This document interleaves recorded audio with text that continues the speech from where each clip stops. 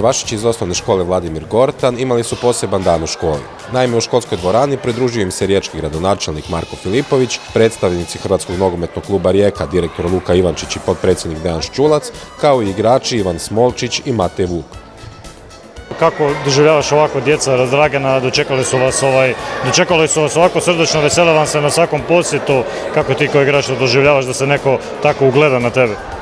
Pa evo, lijepo je to vidjeti kad neko, kad neko mamiš osmijeh, tako da, znači, vidim da sam na dobrom putu i drago nam je što smo došli tu posjetiti ih i razveseliti. Iskreno, meni je sport od malena. Meni niko nije ni trebao reći da je sport nešto bitno, to je od malena bilo za mene nešto posebno i mislim da kroz, kroz sport da će imati prijatelja i zdravlje i sve ostalo, tako da ja se nadam da će se i oni biti dio toga. U suradnji sa Županijom Hrvatski nogometni klub Rijeka darivat će sve prvašiće u našoj županiji brendiranim vrećicama za sportsku opremu.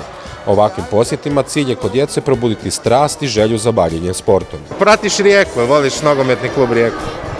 A znaš nekog igrača? Da, Reci kojeg? pa samo se ne sjećam kako se zove. Nema veze. Ali koje šta voliš više igrat napad ili obranu? Ja znam kako. Napad. Kako ti je za sad u školi? Pa dobro. Što radite? Pišemo zadaću i igramo se vani. Jel voliš igrat nogomet? Pa nikad nisam igrala nogomet, ali jako volim gledati utakmice. Jel gledaš utakmice Rijeke? Da. Nadamo se kako će neki od ovih mališana jednom zaigrati u dresu Rijeke, a isto tako da će mnogi od njih boditi naš klub s tribina.